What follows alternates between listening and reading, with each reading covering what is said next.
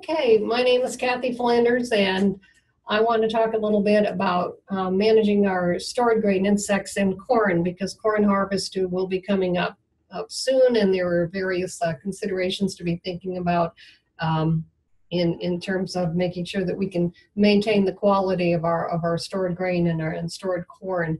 I gave a webinar earlier this year. If you go to alabamacrops.com and look under the webinar series, you can look at the archive. We talk a little bit about storing wheat. The principles are pretty much the same, so I'm going to keep this talk fairly short. Um, I just want to add that if you're storing soybeans, um, the main thing and the most important thing with soybeans is going to be getting that moisture content uh, done properly, keep it putting them into a clean bin and getting their moisture content down to where, where you need it to be for safe storage. So, but I'm going to mainly focus on corn for this webinar. The main principles for managing stored, stored grain insects in any of these crops is we want to keep the grain clean and dry, we want to keep it cool, and we want to check it often. And these sort of three simple C's here of um, clean and dry, cool, and checking it often uh, encompass a lot of different steps that we all put together. No one step in and of itself is sufficient to uh, for safe storage, but put it all together and you'll have a pretty good chance of getting through the year, um, uh, getting through the storage cycle without having problems from insects. The longer you store your insects, the more likely you're eventually going to have problems. And down here in the southeast, as you'll sort of see the sort of things that make insects happy is sort of what our southern um, storage environment can be if we don't take some uh, special steps um, to um, discourage the insects. So our goal is we want to minimize the number of insects that we're starting with and we also want to make the growing conditions unfavorable in the grain bins for these any of these remaining insects to grow because most of the insects that we're working with are growing up right there in the storage facilities with the uh, exception of uh, the maize weevil, which we can bring in.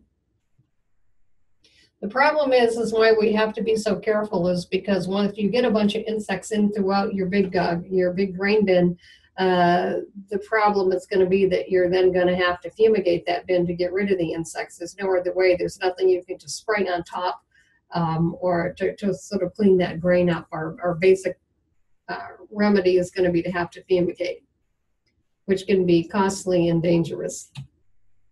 So let's talk about the three C's we had, keep it, keeping it clean and dry. So why are we wanting to worry about keeping it clean? Well, some of those stored grain insects that we have can live for years as adults and they can just sort of hang out in the grain bins. And if you have a bit of soil, uh, a bit of grain left in the bin, uh, from the time you took out the previous crop and put in the next one, that's positively heaven for them because they could just be sitting there multiplying in that grain. So keeping that clean, uh, getting that, getting that everything swept out and cleaned up as soon as the previous crop is removed from storage is is very important. Why are we worried about keeping it dry? Well, the um, reproduction of all of these different insects is uh, higher when there's a higher moisture content within the grain. And you can just sort of see the difference between different percent um, development. If you look at your percentage um, moisture um, on the bottom there of 14% uh, moisture and you leave your uh, pairs of weevils there for five months, you end up with a lot more weevils if you uh, had 14% um, wheat as opposed to 9% wheat. And it's the same for all of the different uh, uh, seeds that we would be putting in these in, in storage is that the drier it is, the better it is. You don't want to get it too dry because you're running into the shrinkage issues that Dennis was talking about. But uh, you want to store it at as dry as you can. Um, and the, the longer you plan to keep your corn in storage, the drier it needs to be. As I mentioned, it's important to get your grain bins cleaned out. It's easier said than done. If you look at the corrugated floors and the holes in them and the things that they have to have for aeration purposes, it's not the easiest thing to clean that bin out, but every bit of cleaning you do is going to pay off later on. So the most important thing you can do is just get all of that old grain out of there and not let, it, let insects be building up throughout the uh, time that that bin is empty. Clean it right out uh, as soon as the grain is the previous amount of batch of grain is is, is um, sent out, get it cleaned up. Keep your grain equipment cleaning handy uh, because uh, if you just sort of get in the habit of cleaning up any spills or any places where insects can develop, the cleaner the whole facility is, the uh, less problems you're going to have with insects because there's going to be less places to harbor the insects. Uh, in terms of keeping it clean, as soon as that bin is cleaned out and all the old grain is taken out, swept out, uh, putting on an insecticide treatment uh, to kill any insects that are there and is, is going to be an important concept. Uh, Tempo SC Ultra is generally the uh, go-to product for people, but there are a few other products that can be used to sort of spray around on the floor of the bin and up on the walls as high as you can reach, and then outside spraying around the outside of the grain bin. So um, empty bin treatments are a very important part of keeping that grain clean. And then also to try to keep it clean is if you're going to be storing it for uh, any length of time, so corn more than a few months, um, it's important to put a grain protectant on that corn as it's loaded into the bin. This is an insecticide that is a sort of admixed into the into the crop as it's loaded in, into the bin. So at the moment, um, this the choices that we have for corn, and this is the typo up here, grain protectants for corn. It should say and um, those grain protectants are uh, that we have several that are available um, Actellic, um, Sensat.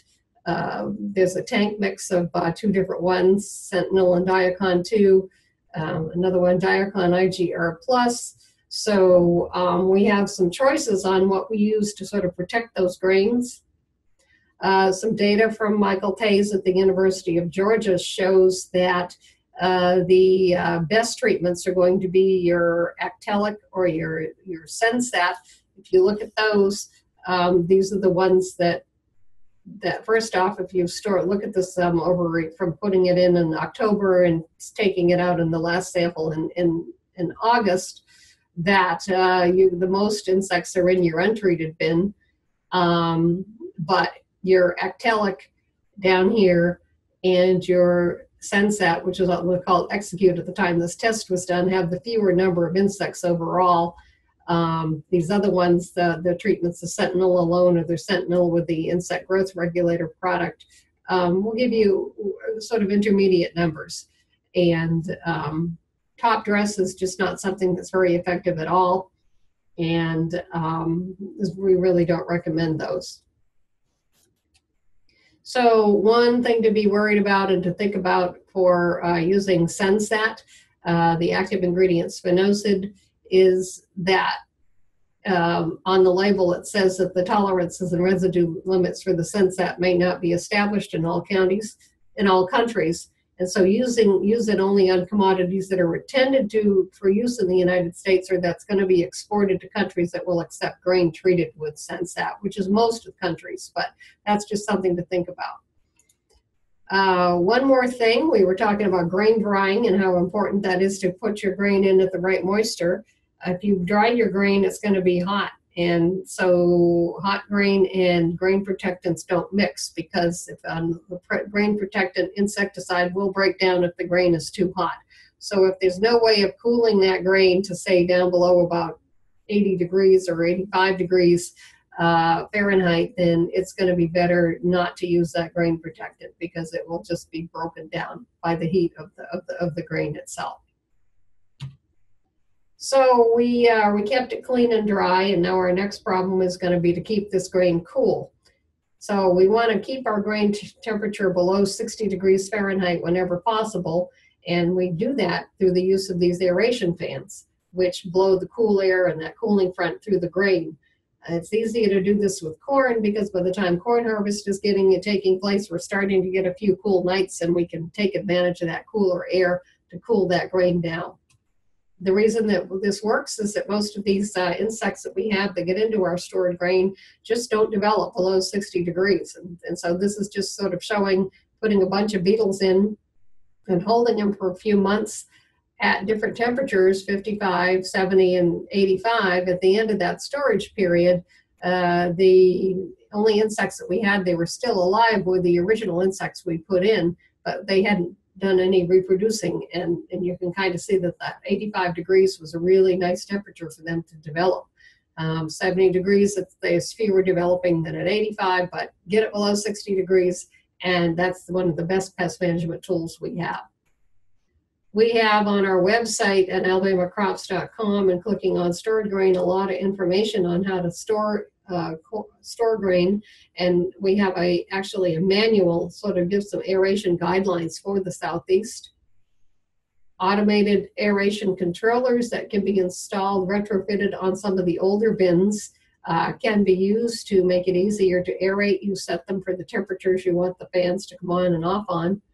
And a lot of the new bins that are being put up actually have thermocouple cables inside the bins, and they are connected to um, computers and so that you can access your what's happening the storage conditions within your bins and have the fans automatically turn themselves on and off. Um, so that's sort of one of the things that it, that is um, more a good idea if you're building bins to go ahead and put in your um, automated uh, monitoring systems. So we've kept it clean and dry. We've um, kept it cool and our last option is we want to make sure that we're checking our grain as frequently as possible. Uh, one of the ways to do that is uh, with the uh, big brass grain probes that you have to sort of stick down into the grain bin, uh, the grain, and pull out and see if there are insects present. Another way is to use these little pitfall traps, these little plastic things that you stick down, put down vertically into the grain, and leave them for a few days and come back. And then the insects that had been in that bin would be wandering around and crawl through the little holes, go clunk down through in the little pitfall, and you can find out who's who's crawling around in your bin. Uh, this is just sort of an example to show that it's a matter of time as insects grow up because it takes about a month for a generation to occur in warm weather of these different stored grain insects. This particular insect, uh, this particular grain bin was sampled once a month and we did okay for a while. We started to build up our insects in July and uh, by uh, mid-September there was we were in big trouble. So um, the longer you're going to be storing your grain, the greater the chances there's going to be problems with your insects. But monitoring them, keeping track of what's out there, uh, as you can, you can you can't keep track of what's on the bottom of the bin, but you can at the top by using some of these traps or, or grain probes or something. A caveat that a grain bin is a dangerous place to be. We got to worry about dust that can be building up. We got to worry about just working from heights and wearing safety harnesses uh, making sure people know that you're in the bin when when when you're going in the bin. Uh, but it is important, if at all possible, to take samples of that grain and, and keep an eye on what's happening. If all else fails, we have the remedy of using an, uh, uh, chemical called aluminum phosphide, which breaks down into phosphine gas, which can kill the insects when it builds up to a high enough concentration.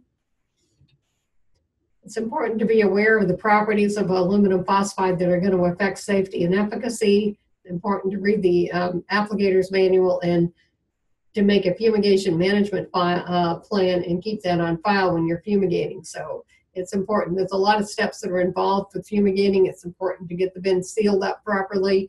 Um, the applicant, the, the um, inactive form uh, applied properly, and then the bin kept sealed up for a long enough period of time so that the fumigation uh, occurs. So uh, well, there's a lot of information about all these different topics. If you go to alabamacrops.com and uh, click on stored grains, and it will take you to a lot of information about um, storing grains. And if anybody happens to be listening to this in the next week, we are having a series of stored grain workshops next week. Um, and uh, we'd encourage people uh, that are more interested in, in, in, learning how to store grain to attend one of those workshops.